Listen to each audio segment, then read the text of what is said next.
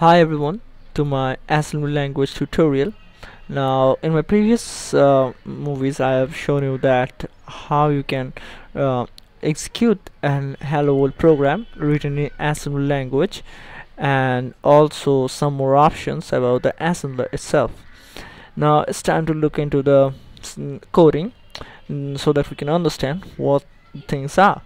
So uh, if you take a look at out here so you can see some mnemonics then some register and some constants or some mnemonics then some register and then some label or data whatever else.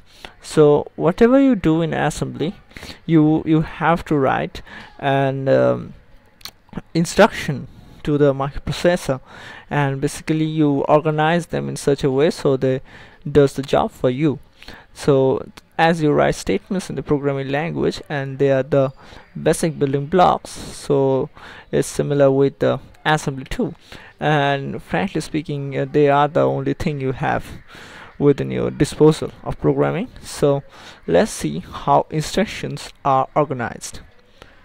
So here we go.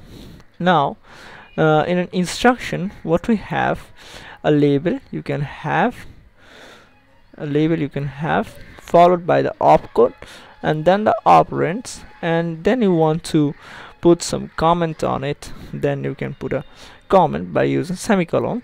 Remember the assembler uh, doesn't force you to put all these things in here.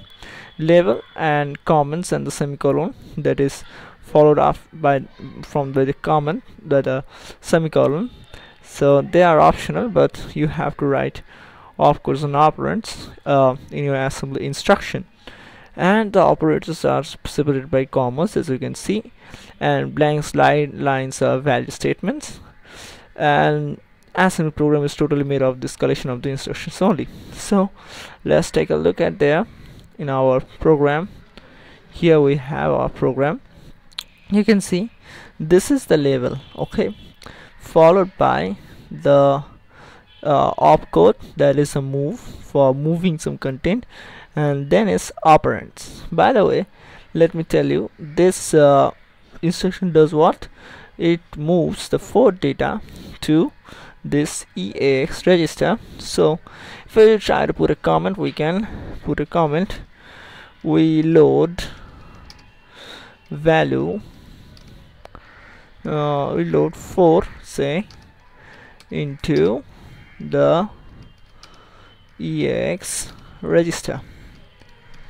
Now from the programming context of hello world um, this 4 represent the printf um, and I will tell you later. So now just uh, for now we just see the how the instructions are.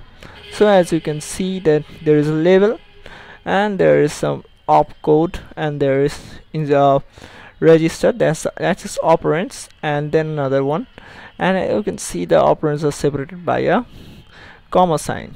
Now this is how the instructions are organized. And when you look down you know they are all the same. This is the opcode part. These are the operands. And they have different meanings obviously.